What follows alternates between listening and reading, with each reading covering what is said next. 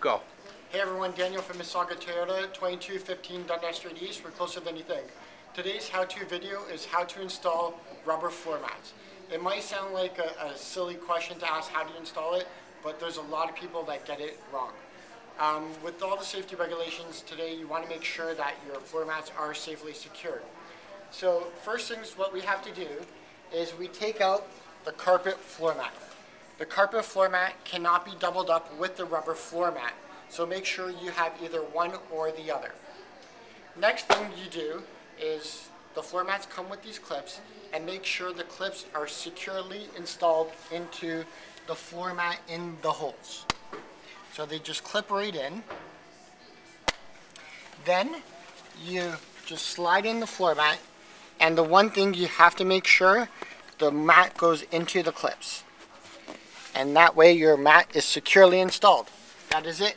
Thank you very much.